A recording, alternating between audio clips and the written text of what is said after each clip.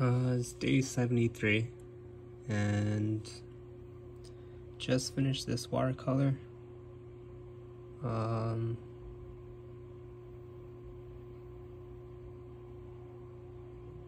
yeah, uh, this hand looks kind of weird, but it's supposed to be capturing movement. Didn't turn out that way. Uh, it just looks like a hand exploding.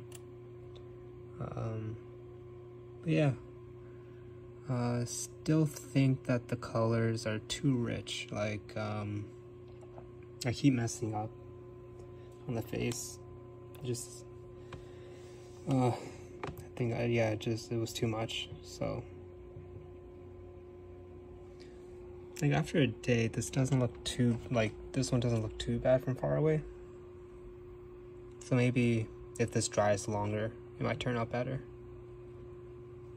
But yeah, um, that's day 73. Still no word from the Reach Gallery. It's only been two days since the deadline, but uh, yeah, uh, hopefully they let me know. But